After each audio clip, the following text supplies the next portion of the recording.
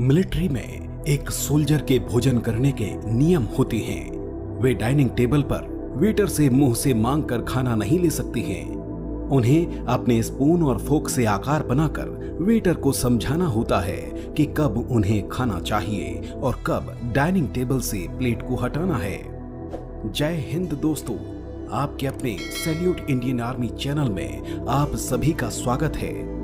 आज का हमारा यह वीडियो इंडियन एयरफोर्स एकेडमी में खाने के कितने सख्त नियम हैं और इन नियमों को सीखने के लिए डिफेंस सर्विस से जुड़ने जा रहे युवाओं को कितनी मेहनत करना होती है, इस पर आधारित है।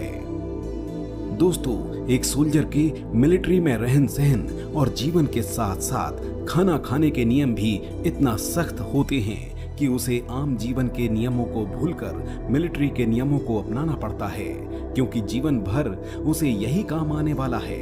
इंडियन एयरफोर्स एकेडमी में ट्रेनिंग के दौरान डिफेंस सर्विस से जुड़ने जा रहे युवाओं को खाना खाने की भी ट्रेनिंग दी जाती है।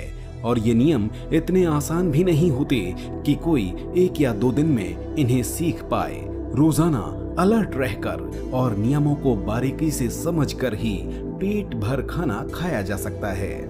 दरअसल, जब भी कैडेट्स भोजन करने के लिए डाइनिंग टेबल पर जाते हैं तो सबसे पहले उन्हें खड़े रहकर अपने सीनियर्स का इंतज़ार करना होता है, जब तक वह आकर टेबल पर नहीं बैठ जाते। और टेबल पर बैठने से पहले भी पड़ोस में बैठे सीनियर से पूछने के बाद ही टेबल पर बैठा जा सकता है।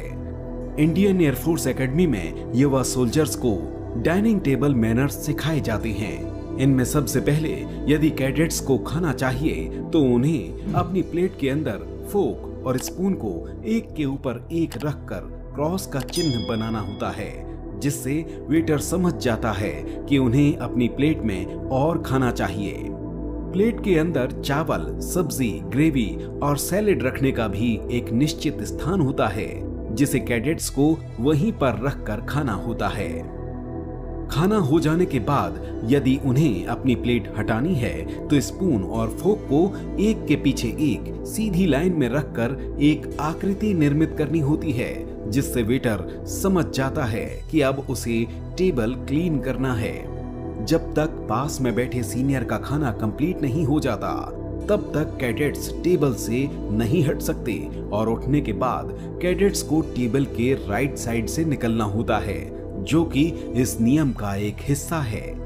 ऐसे कई जटिल नियम भोजन के समय डिफेंस सर्विस से जुड़ने जा रहे एक युवा सोल्जर को सीखना होता है। दोस्तों, आज तक हमने खाना खाने के लिए सिर्फ़ परिवार में नियमों को जाना है। लेकिन आर्मी में किस तरीके से नियम होते हैं, आज हमने इस वीडियो के माध्यम से देखा है। आपको यह वीडियो कैसा लगा, कमेंट बॉक्स में जाकर ज़रूर बताएँ। इसी तरीके के दिलचस्प वीडियो देखने के लिए प्लीज़ चैनल लाइक और सब्सक्राइब करना ना भूलें। जल्द मुलाकात होगी आर्मी से जुड़े इसी तरह के दिलचस्प वीडियो के साथ। जय हिंद।